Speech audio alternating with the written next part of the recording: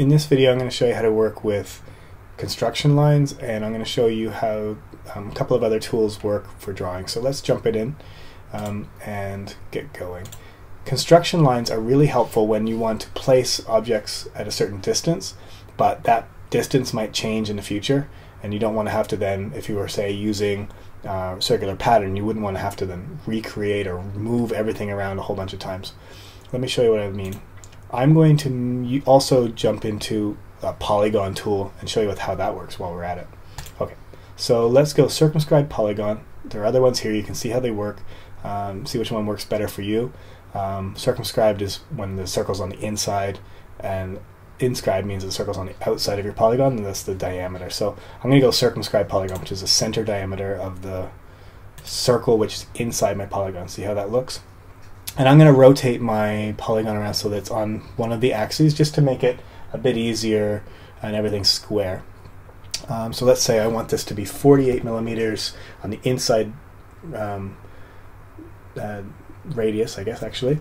Um, and then I'm going to hit tab and say I want this to be, um, let's say eight-sided. Okay, so an octagon and I can hit OK. All right. So now my my circle, the diameter of my circle inside my circle inside my um, polygon here is going to be twice 48. So what's that? 96 is right. Okay, so 48 uh, radius, 96 diameter, and I've got eight sides. Okay. Now, what if inside here I wanted to put um, four circles or four other shapes? Let's say. Let's say. So um, and for instance, maybe they're not even. What if I was using a spline tool? It'd be even harder, right? I'd have to like try to recreate four of those all around. But we just learned about the circular pattern tool, so that's going to save us some time. Let's put in here, for now, let's put in circles um, that we're going to put on a on one of the axis lines as well. And I'll show you what I mean about the construction line. So let's say this is a 50 millimeter diameter circle and I'm going to eventually have four or six or more of those. And the distance from the center I know I want to control because I'm building some sort of a tool that I know I need these circles, uh, these holes maybe, to be a certain distance from the center, but I'm not sure what the distance will be. Or maybe I'll have to change it later. I can tether this circle to this to a distance um, by using a line. So let's go and draw a line from the center to the midpoint of the circle. Okay, and hit the little check mark to be done. Okay, now, and let's hit escape to get out of the line tool. And now I could jump into the circular pattern tool and make a whole bunch of these right now, but if I ever wanted to change them, it would be a little bit tricky because I wouldn't be able to, I could change the diameter of the circle, no problem, but I couldn't change the distance to the center of the polygon. So what I can do is instead of um, you know, cutting out that flexibility for the future, I can right click on this line and scroll down to where it says normal construction. And notice that that turns into a blue dotted line.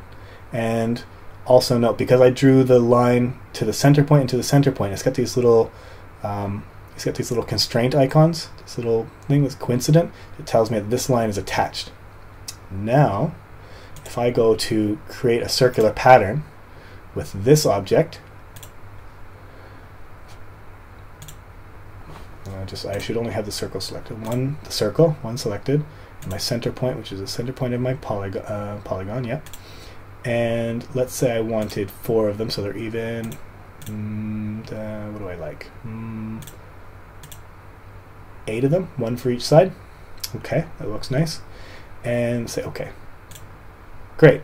Now I've got eight, but at some point in the future, my client comes back to me and they say, "Well, actually, I want them to be." Not this distance anymore. I want them to be a certain specific distance. So let's first measure what we've got here. From here to here. That was 35. Okay, but what if I didn't want it to be 35? What if I wanted it to be 25? Because I've got that as a construction line, I can change that really easily. All I did was put a dimension on it, and then I can edit dimension the dimension at any time and I can adjust. Super big time saver. for the future.